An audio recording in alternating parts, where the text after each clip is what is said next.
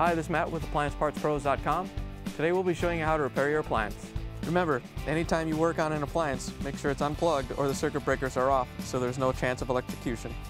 Also make sure you turn off the dishwasher's water supply underneath the sink. In this video we're going to show you how to change out the Whirlpool dishwasher motor to sump seal. It's going to be a very easy repair and it should only take a few minutes to show you how to do it.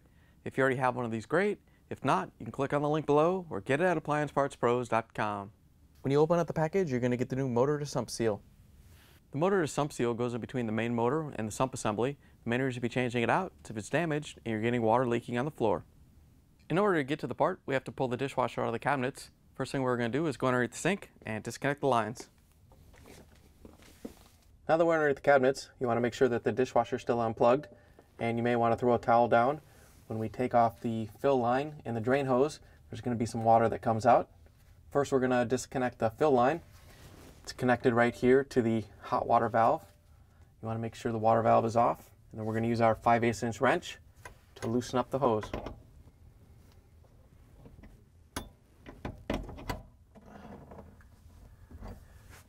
Once you have it broke free, you can just reach in and unscrew it by hand. Once you have it off, you can just set it down and then we can take off the drain hose. To take the drain hose off, you just want to follow it up to wherever it goes. It may go to the garbage disposal. Ours goes up to the air gap. Once you locate the end of it, we're going to take a 5 16 nut driver and loosen up the clamp. Once you have the clamp loose, you can pull it free and set it down. Now that we have the lines disconnected, we're going to open up the dishwasher door and take the lower rack out. To get the rack out, all you have to do is pull it out and lift it off the door. Once you have it out, you can set it aside. Now that we have the lower rack out, we can use a Phillips screwdriver to remove the screws that hold the dishwasher to the countertop.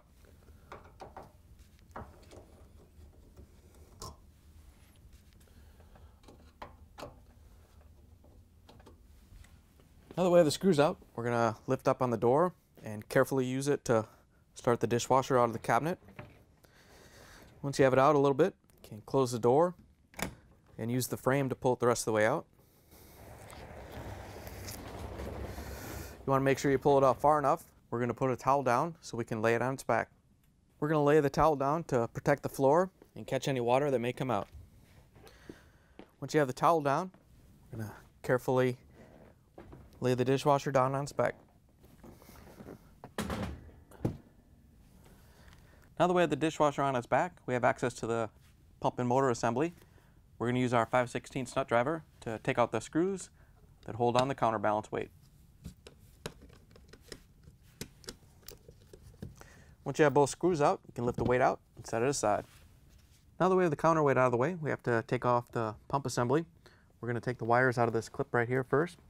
Just have to lift up and slide them out. Once we have the wires off, we're going to take off one of the clamps on the hose that goes in between the pump and the sump.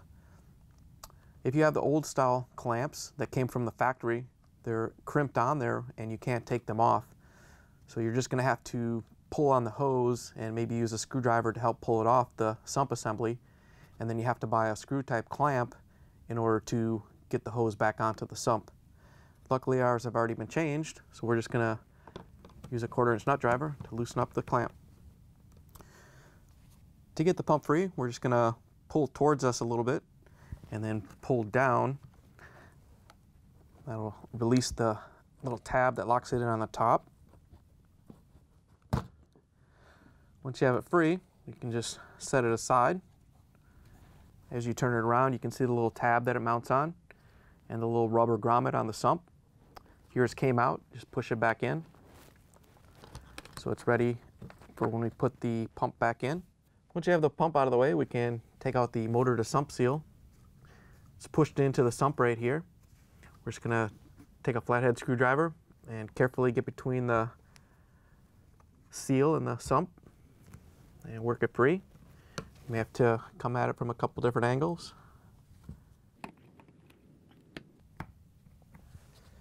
Once you have it free, you can pull it off the sump and out of the dishwasher. Here's the old motor to sump seal next to the new one. If you already have one of these, great. If not, you can get it at appliancepartspros.com. Looks like they redesigned it, but it'll go in and work just fine. Before you push the new seal in, you may want to get it wet. That'll let it slide into the sump a little bit easier. You want to make sure you push it all the way in so it seats in properly all the way around so you get a good seal.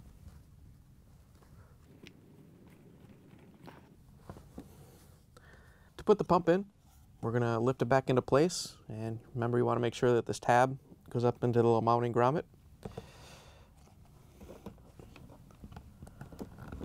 Once you have it in there, you want to carefully lift up on the pump, making sure that the pump goes up into the seal. As you're pushing up on it, you're going to have to push this hose over a little bit to make sure this hose goes on and the tab goes into its little cutout. Same as when you push the seal in, you want to get all these fittings wet to make it easier to slide everything in. Once you're ready, you can lift it up into place.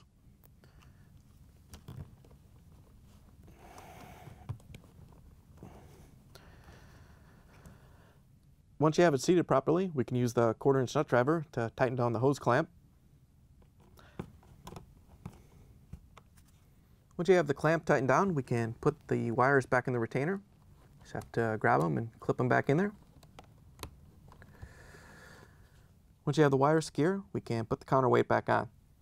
To put the counterweight back on, all you have to do is line it up and set it in place. Once you have it on, we can use the 5 16 inch nut driver to put the screws in.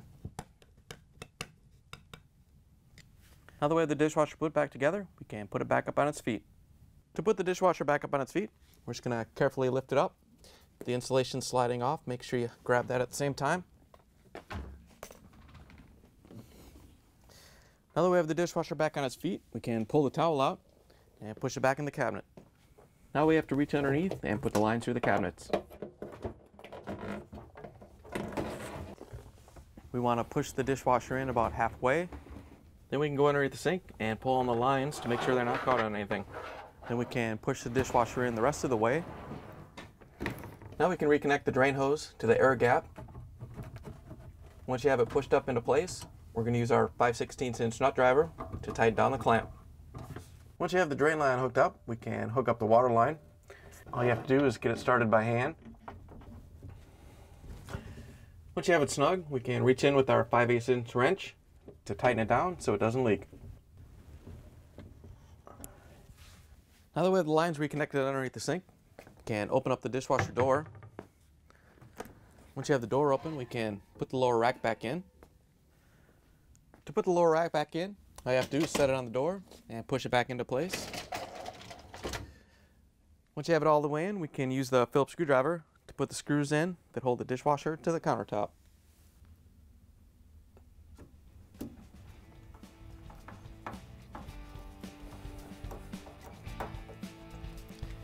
You have both screws in, you can close the dishwasher door, plug it back in, turn the water back on, take a first spin. Thanks for joining us for another successful repair brought to you by AppliancePartsPros.com. Check out our other repair videos on our site, Facebook, and YouTube.